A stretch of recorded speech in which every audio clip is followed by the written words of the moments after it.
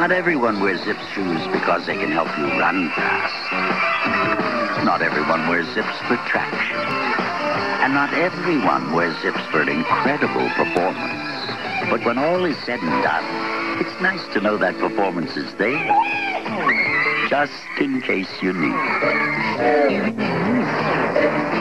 You really need it.